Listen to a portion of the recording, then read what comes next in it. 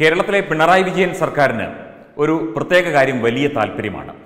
കോടതികളുടെയൊക്കെ ചീത്ത കേൾക്കുക ശാസന കേൾക്കുക വിമർശനം കേൾക്കുക ഇതൊക്കെ വലിയ ഇഷ്ടമാണ്. പ്രത്യേകിച്ചും ആഭ്യന്തര വകുപ്പിനും പോലീസിനുമൊക്കെ. ഹൈക്കോടതിയുടെയോ ഏതെങ്കിലും കോടതികളുടെയോ പരിസരത്തുകൂടി തന്നെ ഏതെങ്കിലും ഒരു കേസ് പോയാൽ തന്നെ സർക്കാർ നടപടികളിൽ കോടതി ഉറപ്പായും വിമർശനം ഉന്നയിച്ചിരിക്കും എന്തെങ്കിലുമൊക്കെ പറഞ്ഞിരിക്കും. ഇന്നിപ്പോൾ വാളയാർ കേസുമായി ബന്ധപ്പെട്ട വിശദീകരണം കൊടുത്തിരിക്കുന്നു. അതായത് പോലീസിന് കേസന്വേഷണത്തിൽ വീഴ്ച പറ്റിയെന്നാണ് പറയുന്നത്. അല്പസമയം കഴിയുമ്പോൾ അറിയാൻ സാധിക്കും എന്താണ് കോടതി വിമർശിച്ചത് എന്താണ് പറഞ്ഞത്. അതുപോലെ തന്നെ എന്ത് നിയമ സംവിധാനമായാലും എന്ത് നടപടിയായാലും കോടതിയുടെ വിമർശനമില്ലാതെ പിണറായി സർക്കാർ എന്തെങ്കിലും ഒരു കാര്യം ചെയ്തോ എന്നത് സംശയമാണ്. അതുപോലെ തന്നെ സുപ്രീം കോടതിയിലും. നമ്മുടെ കാര്യങ്ങളൊക്കെ ഇപ്പോൾ സുപ്രീം കോടതിയിലേക്കാണ് വരുന്നത്. ഇന്നിപ്പോൾ ശബരിമല വിഷയവുമായി ബന്ധപ്പെട്ട് പന്തളം കൊട്ടാരം സമർപ്പിച്ച ഒരു ഹർജി ജസ്റ്റിസ് എൻ വി രമണ അധ്യക്ഷനായ ബെഞ്ച് പരിഗണിക്കുകയുണ്ടായി.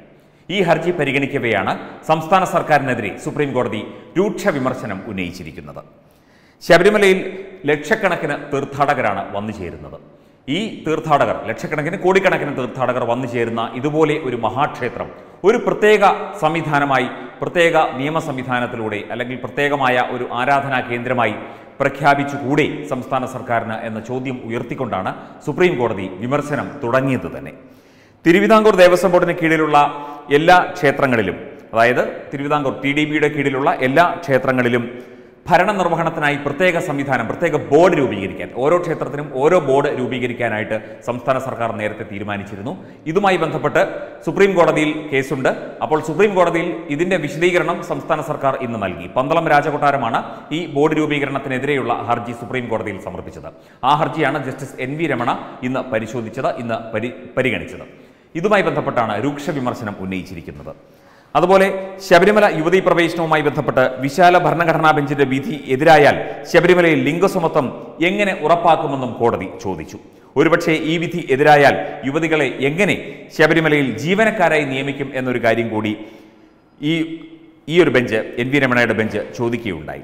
അതായത് ശബരിമലയ്ക്ക് ഒരു പ്രത്യേക നിയമ സംവിധാനത്തിന് കീഴിൽ ഒരു നിയമ സാഹചര്യത്തിന് കീഴിൽ പ്രത്യേക പരിഗണന നൽകേണ്ടതല്ലേ ഇത്രയും ഭക്തജനങ്ങൾ എത്തുന്ന ഇത്രയും വിശ്വാസികൾ ഇത്രയും കാര്യമായി തന്നെ ചിന്തിക്കുന്ന ഈ മഹാക്ഷേത്രത്തെക്കുറിച്ച് ശബരിമലയെക്കുറിച്ച് സംസ്ഥാന സർക്കാർ എന്തുകൊണ്ടാണ് കാര്യമായി ഒന്നും ഗൗനിക്കാത്തത് എന്ന രൂക്ഷ വിമർശനമാണ് സുപ്രീം കോടതിയുടെ എൻ വി രമണ അധ്യക്ഷനായ ബെഞ്ച് ഇന്ന് ചോദിച്ചത്.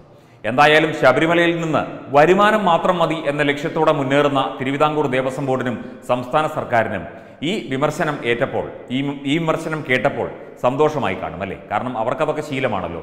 എത്ര വിമർശിച്ചാലും ആരൊക്കെ എന്തൊക്കെ പറഞ്ഞാലും ഹൈക്കോടതി ആയാലും സുപ്രീം കോടതി ആയാലും ഏതൊക്കെ രീതിയിൽ വിമർശിച്ചാലും വഴക്ക് പറഞ്ഞാലും ഒരു കൂസലുമില്ലാതെ സ്വന്തം കാര്യം മാത്രം നോക്കി മുന്നോട്ട് പോകുന്ന ഒരു സംസ്ഥാന സർക്കാരാണ് നമ്മുടെ നാട് ഭരിക്കുന്നതെന്ന് എന്ന കാര്യം വളരെ ദുഃഖകരം തന്നെ വളരെ ഖേദകരം തന്നെ.